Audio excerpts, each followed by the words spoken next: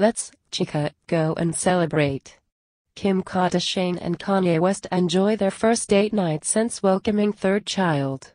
Earlier on Friday Kanye West was spotted alone, beaming after the announcement of their new daughter Chicago's birth. And on Saturday wife Kim Kardashian finally joined her famous rapper husband for the first time in public since the momentous occasion. The 37-year-old reality queen made sure no one would miss her curvaceous form, thanks to some very head-turning duds. The now mother of three donned a neon yellow long-sleeve shirt up top, which was very baggy and fell all the way down to her thighs.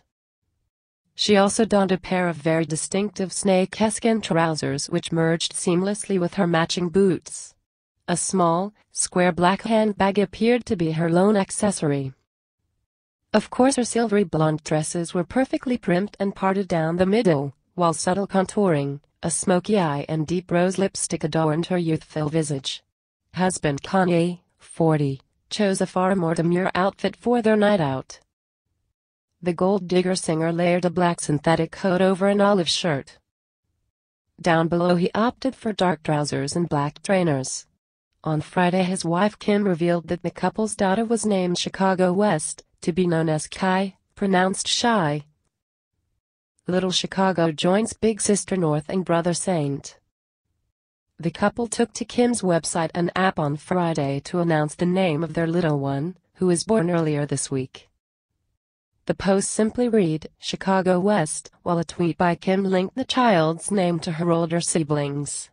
North, Saint and Chi, she wrote. Kim and Kanye welcomed their third child via a surrogate on Monday and shared the happy news about the arrival of a healthy, beautiful baby girl with their fans the day after. She announced. We are incredibly grateful to our surrogate who made our dreams come true with the greatest gift one could give and to our wonderful doctors and nurses for their special care.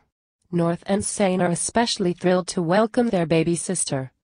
On Thursday, Kanye claimed he and Kim couldn't think of a name for their baby daughter. He said, can't think of a name, know what I'm saying.